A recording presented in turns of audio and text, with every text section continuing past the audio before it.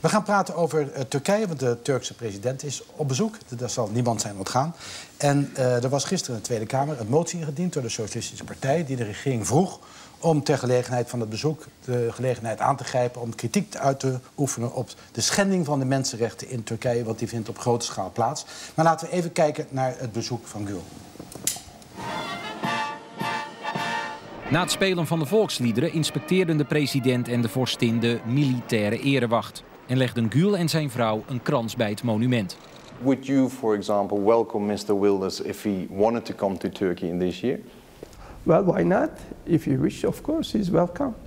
So maybe he will see the uh, realities here. Your country is a stable factor in a turbulent area where existing powers and relations are being challenged on all sides. For many people, Turkey is an inspiration and an example. Mevrouw Karabulut, u bent uh, Turkse, afkomstig van uh, de Koerden. Hè? Ik ben Nederlandse van ja. Turks-Koerdische afkomst. Net wat ik wou zeggen. en uh, nu hoorden we de koningin zeggen dat Turkije een stabiele factor is in een roerig gebied en een voorbeeld. Ja. Zou u die tekst kunnen onderschrijven? Um, nee. Vertel. Nou, kijk, uh, het is natuurlijk prachtig en uh, er zijn heel veel uh, economische belangen en er zijn al heel lange relaties en dat mag gevierd worden. Maar ik vind dat je tijdens zo'n viering ook wel aandacht mag vragen voor de schaduwzijde. En dat is op het punt van de mensenrechten doet Turkije het helemaal niet zo goed. En, ehm, nou ja, ik, maar nu ik... zegt u twee dingen. Dus die, die mensenrechten moeten aan de orde worden gesteld. Ja. En het moet ook nu aan de orde worden gesteld Ja. tijdens zo'n feestje. Dat is natuurlijk de vraag. Nou, je kunt ook zeggen, eh, nou dit is zo'n mooi feestje en 400 jaar... en laten we dat vieren op de manier waarop we dat hebben voorgenomen. En de volgende keer, als we naar Turkije gaan... dan splitslatsklanden over de mensenrechten. Nou, je- hoeft helemaal niet te gaan slaan of zo. Eh, en eh, het gaat natuurlijk eh, niet eens zozeer om de koningin. Maar de Mhm. regering en de premier en de minister Verhagen... die hebben allerlei ontmoetingen.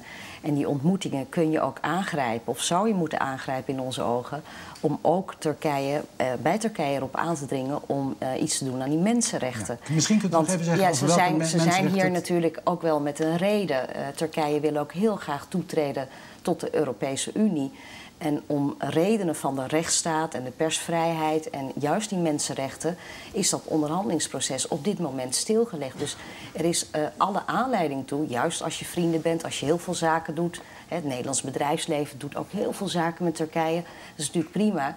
Eh, maar ja, op het moment dat bijvoorbeeld vakbondsrechten niet gerespecteerd worden, eh, arbeiders slecht behandeld worden, ja, dan mogen die zaken ook wel onder de aandacht gebracht Christenen worden. pesten en Koerden meppen, zei Wilders. Bent u Nou, dat zijn niet mijn woorden. Nee, het zijn, dit- nee, Nee, sterker nog, ze waren ik- van Wilders. Maar bent u het ermee eens? Ehm, eh, nee, nee. Met de formulering niet of met, met, de vorm- met de formulering niet. Kijk, dat er een, eh, probleem is met het Koerdisch vraagstuk.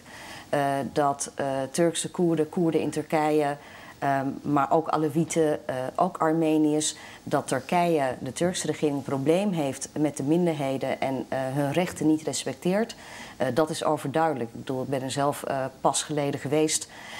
En ik schrik daar toch enorm van. Maar ja, dit soort termen, alsof daar de Koerden of wie dan ook in Turkije, de Turken of de Armeniërs mee geholpen zijn. Integendeel. Kijk, het is een beetje de boel opblazen, grote woorden gebruiken en vervolgens eh, lijkt het alleen maar tot escalatie en niet tot dat gesprek wat ik juist zou, zou willen. Maar ze hebben wel meegestemd met die motie die u hebt ingediend, Ja, hè? ja. dus in die zin eh, zit, zit eh, u... de PVV alleen, ook, eh, Ook de Partij voor de Dieren, geloof ik, de SGP en de ChristenUnie. ChristenUnie. Ja. Ja, maar eigenlijk opmerkelijk dat, dat partijen die normaal gesproken ook eh, de mond vol hebben van mensenrechten, als D66 of de Partij van de Arbeid, niet hebben meegestemd. GroenLinks. Ja. We hebben ze gevraagd waarom dat niet was. En zij zeiden van ja, wij hebben al een mondelinge toezegging gekregen van de minister van Buitenlandse Zaken dat het tijdens dit bezoek aan de orde zal komen. Nou, dat is de wel- mensenrechten. Ja, dat is dan wel heel interessant. eh, want eh, diezelfde minister van Buitenlandse Zaken... die heeft deze motie aan de Kamer ontraden. Eh, dus ja, dat staat wel haaks op elkaar. Bovendien eh, is het natuurlijk een belangrijk signaal... dat je eh, als Kamer met elkaar afgeeft op het moment dat je zegt... en die motie is heel specifiek, hè, die gaat over de persvrijheid. Er zitten in Turkije meer dan 100 journalisten vast. Het gaat over de Koerdische kwestie. Er zitten 6 tot 7.000 politieke gevangenen... waaronder gekozen parlementariërs in het gevangen. Ja. Ehm, over de, Arme de Armeense kwestie, al dat soort zaken. Wordt in deze motie genoemd. En dan zou je zeggen, uh, daarmee sturen we de minister met een boodschap. Maar blijkbaar uh, wil deze partij maar niet. Hoe maar het rare was... Ja, dat, ja, het rare Want je gaat was praten. dat, Ik neem aan dat je aan het praten bent met je collega's... die dit in een pakket Ja, hebben. En dat je dan vraagt, jongens, wat vinden jullie ervan? Ik wil die motie indienen. Steun je die motie of niet? En dan Ja. zou het toch logisch zijn dat GroenLinks, eh, D66... de Partij van de Arbeid... normaal gesproken in dit soort kwesties op dezelfde lijn... eh, zo'n motie steunen. Waarom ik, doen ze dat ik dan heb, niet? Ik heb begrepen dat de Partij van de Arbeid hem uiteindelijk te scherp vond.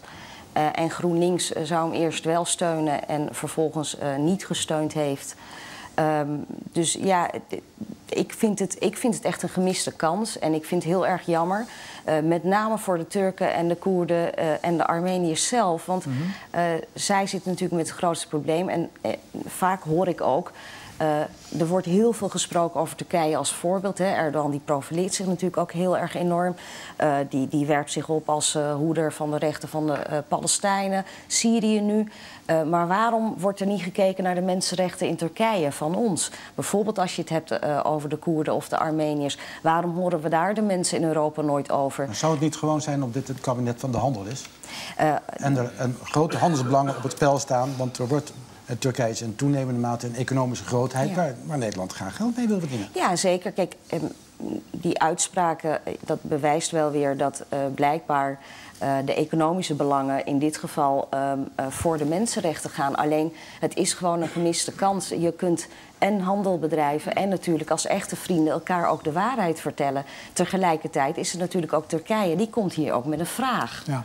Die, die wil toetreden. Nou, eh, dan moet je die rechtsstaat eh, en die persvrijheid eh, en de gelijke rechten voor de minderheden in Turkije ook wel op orde hebben. We gaan kijken of het gelukt is. Want over twee dagen weten we het. Dan kunnen we het aan Roosentaal vragen uiteindelijk. Collega's van ons, als hij niet bij ons aan tafel zit... of hij het werkelijk ook te berde heeft gebracht, de mensenrechten situatie.